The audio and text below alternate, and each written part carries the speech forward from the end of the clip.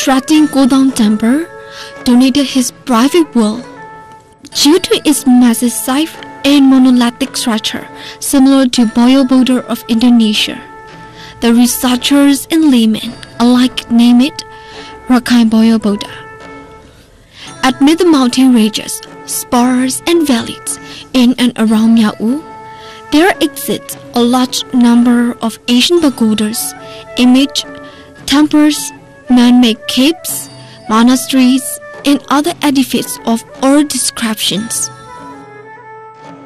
But it is believed such religious complexes will remain in other areas where bushes and shrubs have not been cleared. With the passage of time, a number of historic images, temples, and pagodas got killed and destroyed.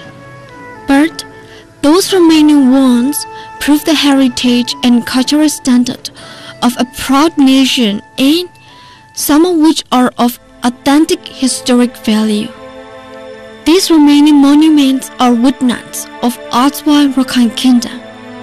Nowadays, Mrauk U, the historic Asian city which has maintained the cultural heritage in always alive, with the foreign researchers, tourists, as well as pilgrims from different parts of Myanmar.